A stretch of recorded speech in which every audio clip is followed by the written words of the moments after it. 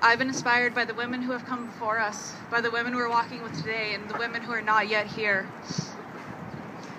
I'm here to teach you all that the Indigenous women were the original feminists of this land.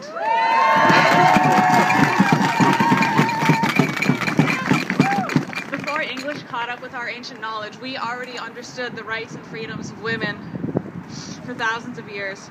We've been fighting for our rights to be seen as self-sufficient humans since the since the conception of Canada.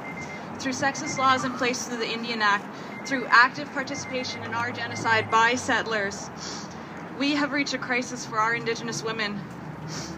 The not guilty verdict in the murder of Tina Fontaine was just another reminder of the way Canada views our women, of not deserving of justice or life.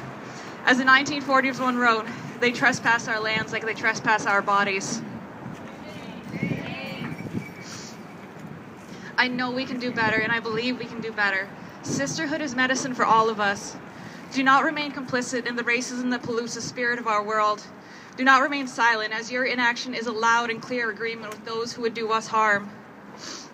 We are all the daughters of Sky Woman, the first human. We all carry the sacredness of body and spirit she gifted us in our creation. Please remember that we are all relations and help your sisters. Chimigwech.